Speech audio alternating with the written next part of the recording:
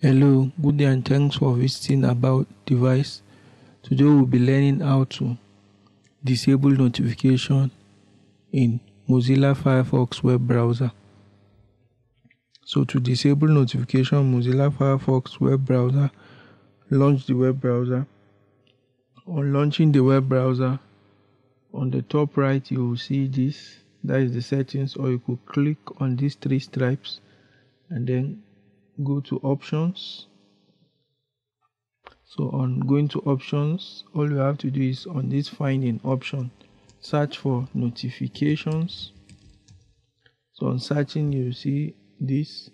Just go to notification here and click on settings.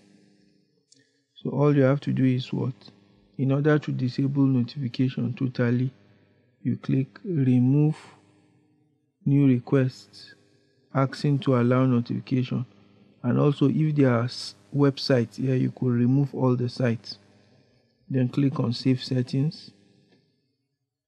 So with this and you could also click pause notification until um, Firefox restarts. But after every restart the notification will come back. But this method will permanently delete the notification. So thanks for watching this tutorial.